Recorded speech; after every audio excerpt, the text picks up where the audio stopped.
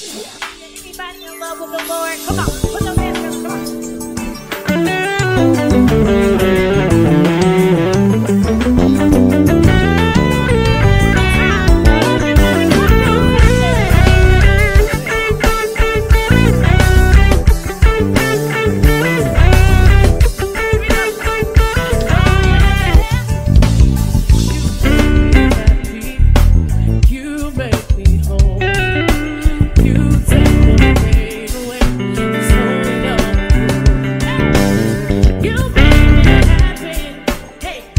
you.